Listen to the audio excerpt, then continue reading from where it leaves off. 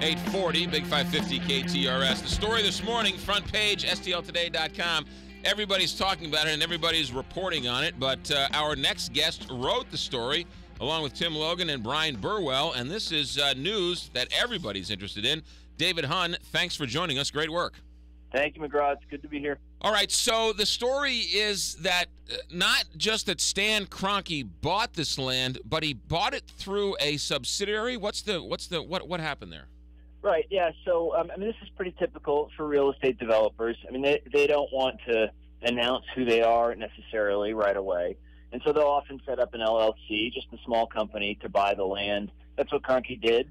Um, and they, really, the only reason we knew it was him was because it, the address and the name on the deed tracked back to the New York law firm that uh, Kroenke used to buy uh, Arsenal, the English Premier League team. Gotcha. And what Well, is?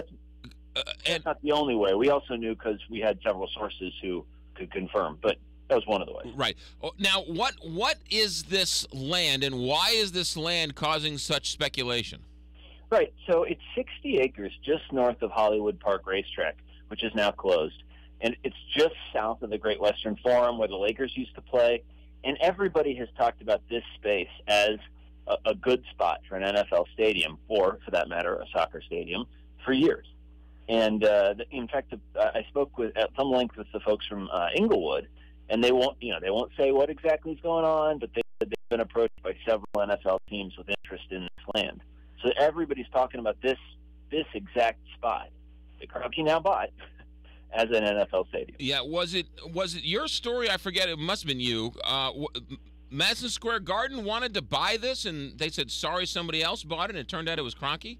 Right, right. That actually was a LA Times story, and that, that was a good little tip. I didn't we didn't know that until we read it. The the um, Madison Square Garden owns the Forum, and they've renovated it, and it's kind of a concert venue now. And uh, they wanted to buy it, which obviously makes sense. And um, the uh, the Walmart who owned the land turned around and said, "Uh, yeah, so we already have somebody who is purchasing it." Right now, he's a land developer and he's a billionaire, so it's not that crazy that the man would buy 60 acres to be developed. he is like tenth biggest landowner in the country or something like that. I mean, he owns a lot of land. Right. But add on top of this, now you play the speculation game, and everybody runs wild. You were not able to get any comments from him, correct? No, we tried several different um, pathways to Kroenke himself, and, and he is he isn't called Silent Stan for nothing. that is true. Okay. So, in terms of the Rams' negotiations for a new lease or a new stadium here, we don't know anything about that either. All we know is that the city and his team have stopped talking. Yeah, I mean, I think we can we can draw some conclusions, right? That certainly are speculation, but that will probably hold true down the road. And one is is that no matter what, Kroenke wanted this information out, and that is to me uh, the sign. It's it's almost you take it as the first signs of negotiations. He's telling the city, "Hey, I'm serious. I'm buying land somewhere else. You better start talking." Right. Uh, that's really interesting. Did he want it out two days before the Super Bowl? Isn't he kind of stepping on the super uh, on the NFL's parade here a, a little bit? Well, I'm not sure Kroenke's too concerned about that. I think he saw it as a great place for uh, people to start talking about the deal, right? Yeah. Um, Everybody's together in New York. They're all talking, and now they're all talking about the Rams. yeah. It's not as simple as him packing up and going to San Francisco or uh, going to Los Angeles. Uh, The NFL has to basically give him his blessing, correct? Yeah, th- this is a long process, a long process with a whole bunch of uh, roadblocks that may or may not come up. The first one is the NFL. Well, gosh, the first one is land and permits and all that stuff. But but yeah, the NFL has to agree, and then past that, the owners all have to agree.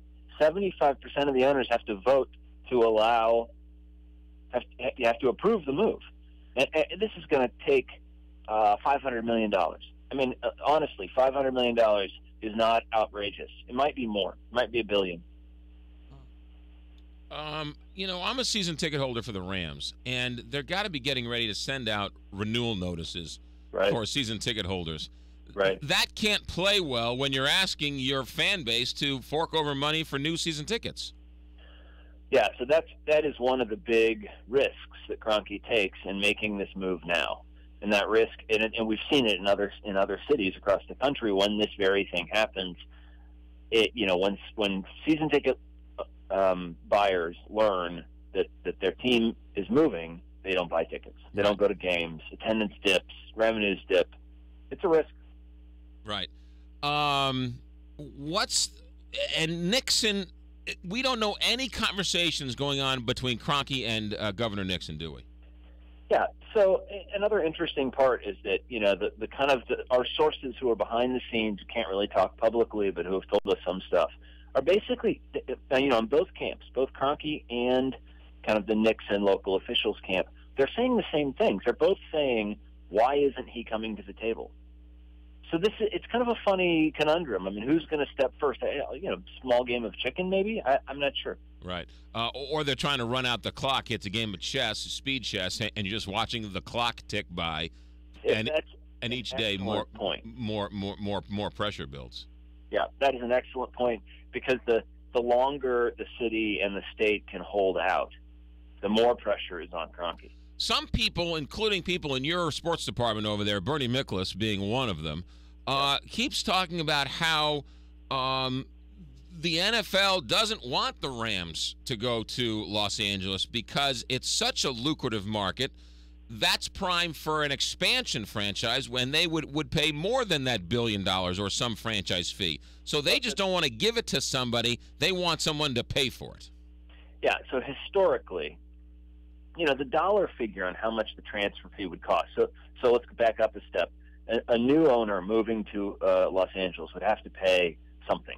And if the new owner is a transfer, moving from St. Louis to Los Angeles, um, that might be, well, like I said, it could be several hundred million dollars.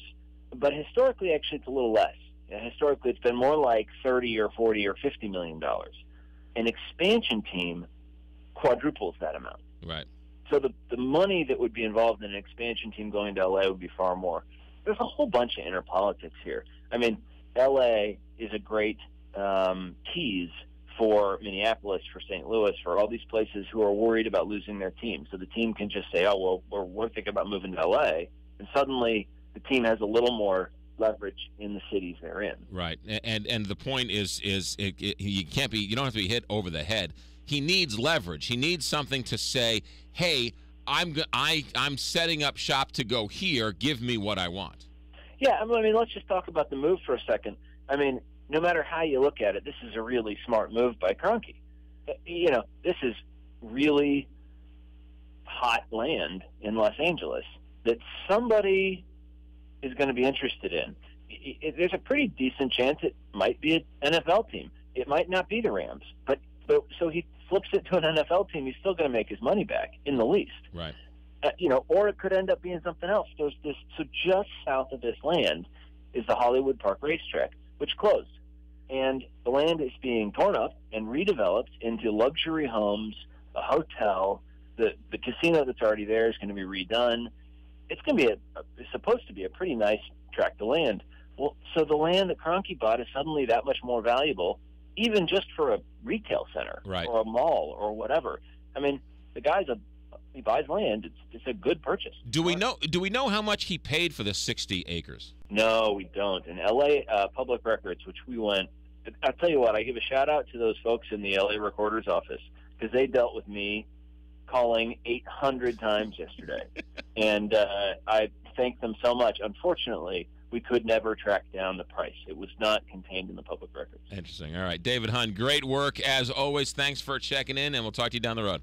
Good talking to you. David Hunn, ladies and gentlemen, he uh, broke the story along with his team of uh, Tim Logan and Bryan Burwell. Everybody's talking about it, but David Hunn broke the story. Great insight into the uh, story. Oh, yeah. Really interesting stuff. Um, and I just like to say it. Part of our partnership with the uh, the Post. That is that is exactly why we do it because very thorough, and- great information. He's the one who's the expert. Um, you know, we get a chance to talk to the horse's mouth, the person who tracked down the story. Um, that's a chock full of great information. David Hunn's a good one. Uh, 850 here on our Big 550.